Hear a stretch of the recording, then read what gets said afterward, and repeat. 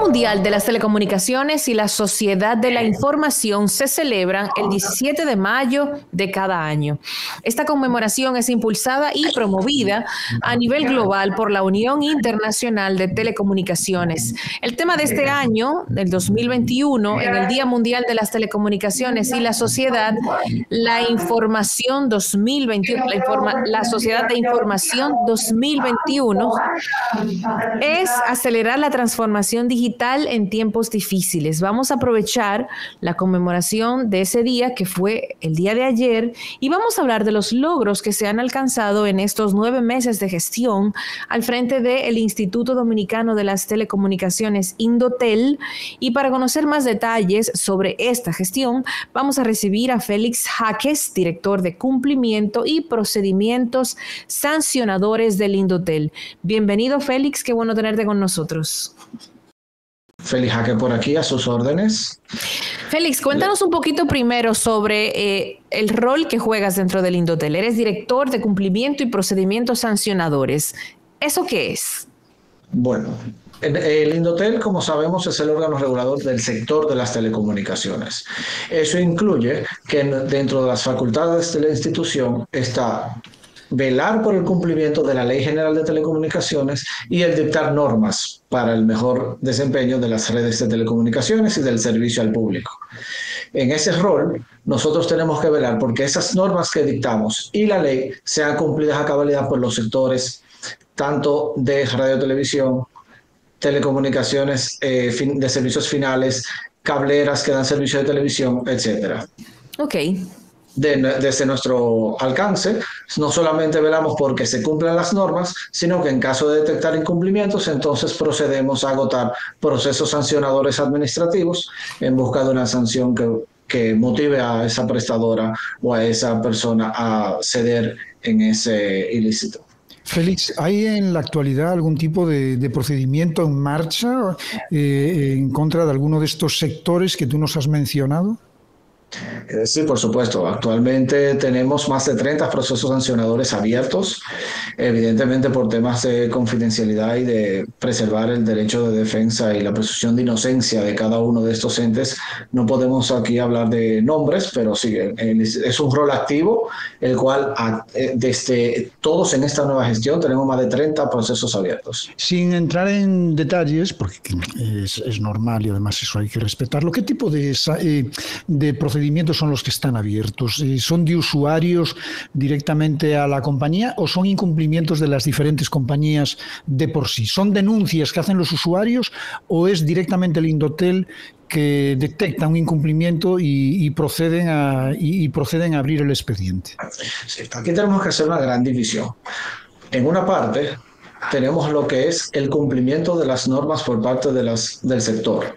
Ese es el incumplimiento que estamos persiguiendo y el que es a través de procesos sancionadores administrativos. De este es el que tenemos treinta y tantos casos. Esos casos son diversos, en su mayoría ahora mismo fruto a unos procesos que hicimos de cierre de emisoras ilegales, la gran peso de, de esos 30 están ahí. Hay otros que son cierres de revendedores ilegales de servicios de Internet, por ejemplo, etcétera, entre otros. Por otro lado, entonces están los usuarios. Los usuarios hacen denuncia por temas de calidad de servicio, de servicios no contratados, etcétera, y esos son trabajados a través de otro organismo que se llama la Dirección de Defensa y Protección al Usuario, que hacen procesos parecidos a un proceso judicial en el cual determinan si hay o no algún incumplimiento o un culpable y sancionan al respecto. Félix, en multitud de ocasiones hemos escuchado y en el programa además nos ha llamado mucha gente y nos han externado este problema de que eh, los usuarios a la hora de denunciar una falta o un mal servicio de, un, de alguien del sector de las comunicaciones, que normalmente son telefónicas, tienen que hacerlo a través de Indotel, no a través de Proconsumidor. ¿Existe una relación entre ustedes eh, directa donde las denuncias que vayan a Proconsumidor son derivadas a Indotel o, cómo, cómo, funciona eso? ¿Es así como yo digo o pueden ser tramitadas por ambas vías? Eh, como sabemos, la Ley General de Telecomunicaciones y el Instituto Dominicano de las Telecomunicaciones es una institución que surgió primero en el tiempo que Proconsumidor. Entonces, al momento en que surge Proconsumidor y en esa labor excelente que hace, nosotros hicimos un acuerdo interinstitucional entre Proconsumidor e Indotel, en el cual mantuvimos esa potestad que ya nos daba la Ley General de Telecomunicaciones y actuamos como ente especialista en la materia para tratar de resolver esos conflictos entre prestadoras y usuarios. Hoy en eh, día, la vía correcta es el Indotel. En primer lugar, se va a la prestadora, se hace su reclamo y en caso de que el mismo no sea atendido de la manera correcta o haya inconformidad con la respuesta, entonces el Indotel interviene. ¿Cuáles han sido las prioridades del Indotel en estos nueve meses de, de una nueva gestión, Félix? Este, que el presidente Arroyo toma el mando pide una evaluación de, qué, estamos trabajando, qué hay en el Indotel, qué necesidad tiene el sector ahora mismo para poder llevar telecomunicaciones a toda la nación. Uno de los grandes problemas que tenemos hoy en día en el servicio de telecomunicaciones es que el mismo no llega de igual manera a sectores deprimidos que a lo que es el centro de la población. Uno de los ejes principales y una de las metas principales de nuestro presidente Nelson Arroyo y expresada por el presidente Luis Abinader mediante decreto es llevar servicios de telecomunicaciones de calidad a cada rincón del país. Para eso, entonces se encuentra que una de las principales limitantes que tienen las prestadoras es disponibilidad de espectro radioeléctrico, que no es más que la vía por la cual hoy en día nos estamos comunicando y ustedes, las, emisoras, utilizan al momento de mandar sus señales. Para esos fines, hay una banda disponible que a nivel mundial está teniendo mucho auge, que es lo que se denomina el 5G. Es, el, el 5G no es la banda, sino que es un protocolo que incluye en la misma la disponibilidad para servicios de telecomunicaciones, particularmente de Internet, de una porción del espectro radioeléctrico que anteriormente o estaba en desuso o estaba siendo utilizado para otros servicios. En ese sentido, entonces, don Nelson Arroyo dispone que inmediatamente se inicie un proceso de puesta a disposición del sector de telecomunicaciones y de las prestadoras de servicios finales de Internet de ese espectro, para lo cual se lanza en el, en el principio de este año lo que es la licitación de espectro radioeléctrico puntualmente de la banda de los 700 MHz y la banda de 3.5 GHz. Esta es eh, la principal herramienta o vía mediante la cual los servicios comenzarán a ser llevados a otros lugares en mejores condiciones de calidad e incluso están llamados a mejorar la calidad dentro de las regiones en que hoy en día el servicio llega con el denominado 4G. Otros de los procesos y otras de las directivas y guías que expresó el, señor Nelson Arroyo es el de llevar el sector al cumplimiento. Y es precisamente a través de estos cierres de emisoras ilegales y de estos procesos que, que hablábamos anteriormente que estamos persiguiendo el cumplimiento de la ley.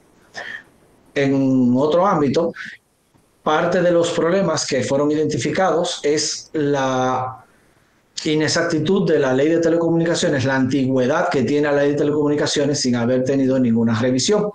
En ese sentido, se planteó el hacer una comitiva para una modificación de la ley de telecomunicaciones, proponerla al Congreso para estos fines y el, a través de una alianza con el Banco Interamericano de Desarrollo se logró una consulta que está trabajando ahora mismo en ese proyecto de una modificación a la ley para modernizarla.